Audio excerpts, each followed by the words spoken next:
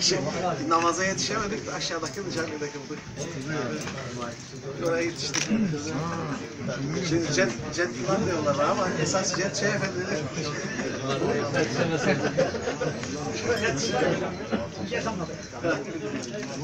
Hüseyin Hoca da her şeyde de olmuş. Hızlandı. Duayı da